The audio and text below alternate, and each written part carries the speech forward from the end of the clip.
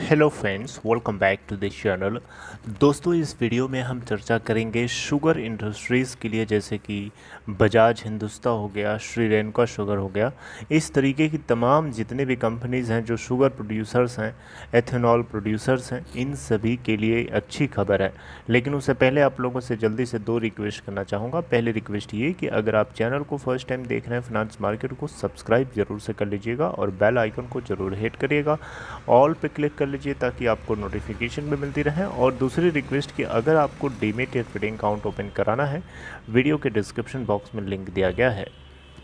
दोस्तों, आप लोगों को पता होना चाहिए कि भारत सरकार ने एथेनॉल ब्लेंडेड पेट्रोल को बहुत ज़्यादा बढ़ावा इस समय देना शुरू कर दिया है। क्योंकि हमारे देश के अंदर जो हम पेट्रोल यूज़ करते हैं, उसका मेजॉरिटी परसेंटेज जो है हम दूसरे देशों से मंगाते हैं, जिससे हमारे देश का पैसा दूसरे देशों में फ़्लो होकर चला जाता है और जो फ़िज़िकल डेफिसिट है, उसको बढ़ने में मदद करता है।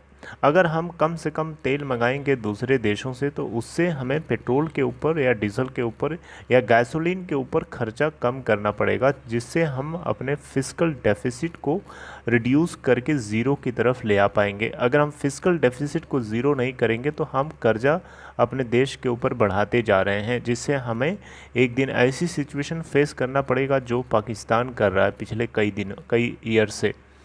तो दोस्तों, भारत सरकार पेट्रोल और डीजल के अंदर, गैसोलीन के अंदर एथेनॉल ब्लेंड किया जाएगा और ई e टेन का मतलब हुआ ई e टेन का मतलब होता है एथेनॉल ब्लेंडेड जो कैपेसिटी है दस परसेंट की है। अब हम ई e ट्वेंटी की तरफ़ मूव करने के, करने की कोशिश में हैं। देखिए ई टेन यानी ten percent ethanol blended petrol का टारगेट हमने समय से पहले ही अचीव कर लिया है। ये एक अच्छी खुश खबर है, अच्छी खबर है। अब हम twenty percent ethanol blended petrol की तरफ़ अचीव करने की तरफ़ बढ़ रहे हैं। दोस्तों, ये आप देख सकते हैं ethanol blending cheers sugar producers already lifted by rising demand दोस्तों गवर्नमेंट का ये जो फैसला है कि जो एथेनॉल ब्लेंडिंग टारगेट है 20 परसेंट का, इसको 2025-2026 का जो सेशन है, उसी समय तक पूरा कर लेना है।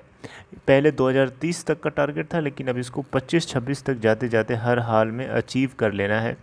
और ये एक एडिशनल हैप्पीनेस या एडिशनल प्लेजर है इन सारी कंपनीज़ को जो शुगर प्रोड्यूसर्स हैं।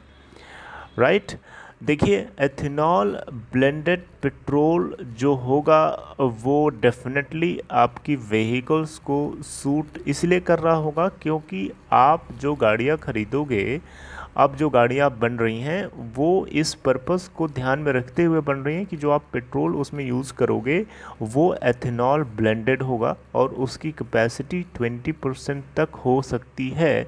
इसको ध्यान में रखते हुए ही बनाई जा रही हैं। तो आप इस चीज़ को लेकर के परेशान मत होइए। ये चीज़ आपको सरकार को पहले से पता है और सरकार ने, गवर्नमेंट ऑफ़ इंडिया ने डायरेक्ट कर रखा है उनको पहले से, इसके ऊपर काम करने के लिए।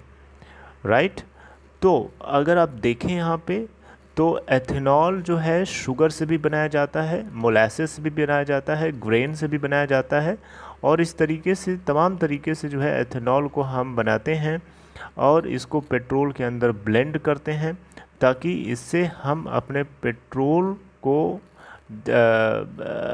यू नो मिक्स करके यूज़ कर सके ताकि हमारी जो डिपेंडेंसी है वो दूसरे देशों से आने वाले पेट्रोल के ऊपर थोड़ी कम हो राइट अब देखिए, यहाँ पे आपको बता दूँ, अगर हमारा भारत देश अगर 20 परसेंट एथेनॉल ब्लेंडेड पेट्रोल पे अगर चलता है तो उस केस में हमें एवरी ईयर लगभग लगभग 10 बिलियन लीटर्स एथेनॉल की ज़रूरत पड़ेगी। ये कोई खेल नहीं है। दस billion litres ten billion litres की ज़रूरत पड़ेगी to achieve twenty percent blending target in India right और ये एक बहुत बढ़िया अपॉर्चुनिटी है उन सारे शुगर प्रोड्यूसर्स को आगे आकर के मदद करने के लिए। देखिए, आपको एक चीज़ पता होना चाहिए कि पिछले कुछ सालों में फाइनेंशियल ईयर 2020 2014 से लेके फाइनेंशियल ईयर 2021 तक, इन सात साल में ज़ीरो सेवन ईयर्स में 3.6 परसेंट मात्र ग्रोथ रही है शुगर इंडस्ट्रीज़ के लिए। तो शुगर इंडस्ट्री के अंदर 3.6 परसेंट की मात्र ग्रोथ होना, क्या ये सफिशिएंट है? बिल्कुल नहीं है। और साथ ही साथ ये भी ध्यान दीजिए, जब कोरोना वायरस आया तो ये सिचुएशन और ज़्यादा ख़राब हो गई राइट तो इस सिचुएशन को अब अब जैसे जैसे इकोनॉमिक एक्टिविटीज़ ओपन हुई हैं वैसे वैसे चीज़ें बढ़ रही हैं डिमांड बढ़ रही है और अब डिमांड और तेज़ी से बढ़ गई है क्योंकि अब एथेनॉल की हमें ज़रूरत है ब्लेंडिंग पर्पज़ के लिए। So this is very good news for all sugar producers चाहे बजाज हिंदुस्तान हो चाहे शुगर श्रीलंका शुगर हो चाहे हो आ, कोई और शुगर इंडस्ट्रीज़ हो है ना? इन सभी के लिए एक बहुत ही गुड न्यूज़ है राइट और यहाँ पे आपको बता दूँ सरकार ने साफ़ साफ़ कहा है कि जो भी एथेनॉल प्रोड्यूस किया जाएगा उसको सरकार एक फ़िक्स्ड रेट पे ख़रीदेगी। कोई भी एथेनॉल बचेगा नहीं सारा का सारा एथेनॉल ख़रीद लिया जाएगा।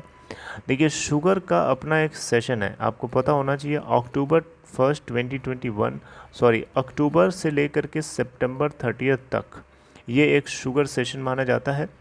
तो इस शुगर सेशन के दौरान जो भी शुगर प्रोड्यूस होएगी, जो भी एथेनॉल बेसिकली शुगर से जो बनेगा या जो भी और तरीके से बनेगा, उन सारे क्वांटिटीज़ को सरकार एक अप्रोप्रिएट प्राइस पे ख़रीद लेगी। राइट और उसका प्रॉपर तरीके से पेमेंट भी कर दिया जाएगा। सरकार किसी भी तरीके से किसी के पेमेंट को रोकने की कोशिश नहीं करेगी। ये सरकार ने पहले ही क्लियर कट कर साफ़ कर रखा है। राइट तो दोस्तों बस यही एक छोटी सी रिपोर्ट थी। आ, मैंने आपको अपने लैंग्वेज में समझाने की कोशिश करी। मोटा मोटा आई होप आपको ये समझ में ज़रूर आया होगा।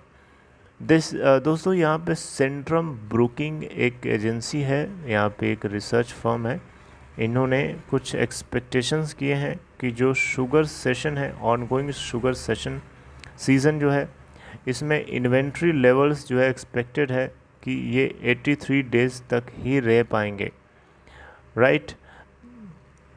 और जो है main taking cue from the government's road map for ethanol blending बहुत सारे शुगर मैन्युफैक्चरर्स ने ऑलरेडी सिग्निफिकेंट एक्सपेंशंस कर रखा है एथेनॉल प्रोडक्शन के लिए। राइट right, तो बहरहाल आपको मैं मोटा मोटा समझा चुका हूँ कि क्या एक्चुअली में कहानी है एथेनॉल ब्लेंडिंग को लेकर के और ये किस तरीके से शुगर इंडस्ट्रीज़ को बेनिफिट कर सकती है। Right so it's a very good opportunity for all of them अगर आपको ये कॉन्टेंट्स अच्छा लगा हो तो इस वीडियो को लाइक कर दीजिएगा और अपना ख्याल रखिए और चाहें तो आप शेयर भी कर सकते हैं और लोगों में। Take care